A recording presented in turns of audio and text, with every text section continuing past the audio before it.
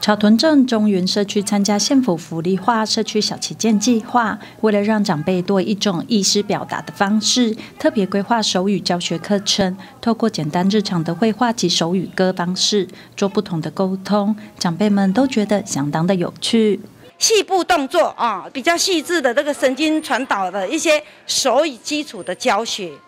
然后加上一些音乐鉴赏，因为老人家哈，音乐对他们的一个。辅助疗法是非常有效。你看刚才只有带动的话，那个活力激不出来，配上音乐的时候，诱发出来他内心那种热情。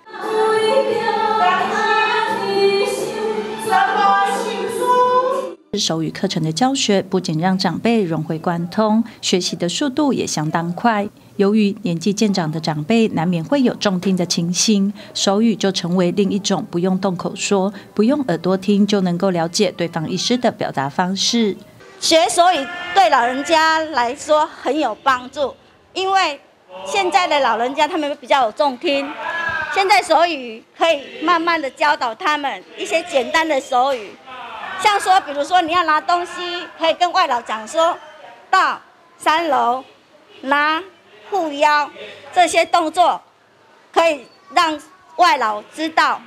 这些小小的动作，而且让老长辈知道说他缺少什么东西。这项手语课程所教的都是日常生活用语，指导老师相当的有耐心，对于每一个字的笔画方式讲解的相当清楚。对长辈来说，不仅有趣，而且也是一种新的体验，充实生活外，也增加社会的参与和交流。长辈嘛，听就真好啊，要跟人讲，安尼就真好。哎，老人家他比较重听啊，他会觉得说，我们说话的时候，他没有办法参与。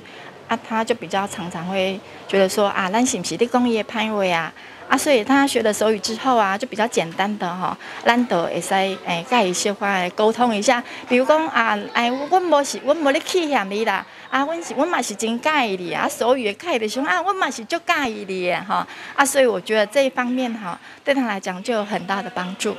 活泼有趣的教学方式，让参与的长者和志工融会贯通，学会日常生活中常用到的手语，学习的速度也很快，大家越学越有兴趣。记者洪一伦、曹屯珍采访报道。